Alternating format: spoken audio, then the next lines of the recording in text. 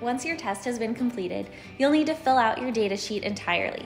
Missing information on datasheets is the number one reason for delayed results. Write in the source bottle and filter serial numbers, along with the filter flow rate and time sample. In order for water results to be reported, you must fill in the sampling point pressure, tube flow rate, DT reading, and DT sample time in section 5.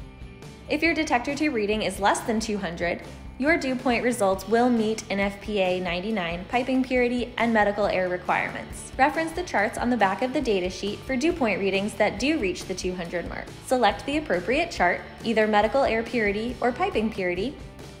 Match up your detector tube flow rate with the time at which the reddish brown color change reached the 200 mark. For example, a medical air purity sample with a flow rate of 5 LPM, when the DT reached the 200 mark at 5 minutes, then the sample passes for water. If the reddish brown color change stops in a straight line, you'll write down your closest estimation between the two nearest marks on the tube. If the color change is angled, you'll take the reading exactly in the middle of the angled discoloration.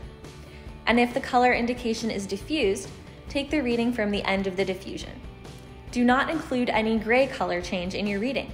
Once you've determined your reading, make sure you write the tube reading on the data sheet.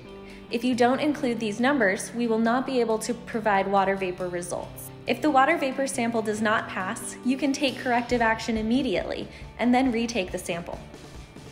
Disregard the NOx and SO2 tube reading section if these were not used. To sample for USP medical air, proceed with the K6042 air check kit. Make sure to print and sign your name on the datasheet. Then make a copy for your records and include the original with the sampling media returning to trace.